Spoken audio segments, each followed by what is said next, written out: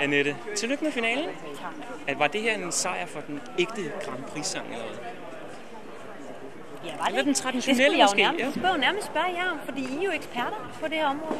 Ja, men det vi havde jo en fornemmelse af, øh, at øh, Grand, Grand Prix-folket måske stemte på dig. Ja, Ja. så der, er, der kommer jeg lidt til kort, fordi jeg ved simpelthen ikke... Jo, altså, alle mine venner har jeg sat til at stemme, ikke? men altså, derudover, så ved jeg ikke rigtig, hvem det er, der, der stemmer på sådan et nummer. Men, men, men jeg har jo... Jeg brænder jo for Grand Prix. Sådan den gammeldags Grand Prix. Elsker de sange, der er gået videre. Jeg synes, de er fantastiske. Øh, men, øh, men jeg kan, ikke, øh, jeg kan ikke give slip på den der del af mig, som bare siger, Tommy Sebak og Birte Kjær og så videre. Ikke? Så, øh, så jeg synes, det var naturligt at holde fast i den tradition. Men da du sad heroppe på de her Ja, stolrækker der her... troede jeg simpelthen, at jeg skulle kaste op.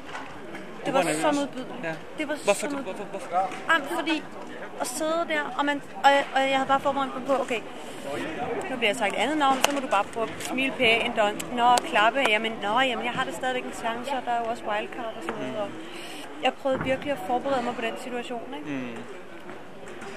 Da han så sagde mit navn, så var det bare, hold kæft, jeg blev glad. Mm. Jeg var lige ved at tude, og det var sådan, ah, okay, nu er du patetisk, Annette. Hvad er jo værd, mm. altså. Det er trods alt kun semifinalen, ikke? Men alligevel, ah, Du var det jeg tredje navn, der blev råbt op, Ja. kan huske. Der var så to sådan meget rockede sange, som Ja, du og der tænkte Begyndte du så at ja, det tvivle gjorde på, Det hvad... Ja, det kunne jeg godt forestille mig. Da jeg så det, så var det, nå, okay. Mm. Så hedder den næste Annika, og så, så er det sgu nok uh, Camille, tænkte jeg. Mm. Ja. Det var, min, det var sådan min umiddelbare tænkte, okay, det er, det er det yngre publikum, så der har stemt sikkert, det er nok uh, 40 minus, det vil sige, og de har den der smag der, okay, ja, der, det var det.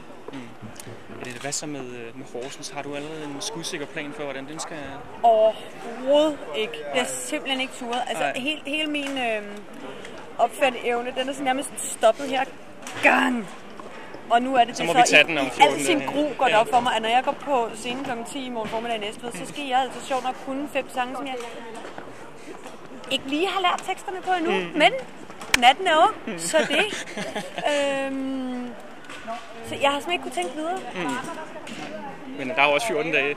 Ja, der er. Ja, der er. Og jeg tror næste gang, altså i næste år, der tror jeg, der kommer der flere Grand Prix ting. Hvad, hvad siger du så til feltet her i aften? Kvaliteten af... Jamen, Er de sange, der med? Høj højt.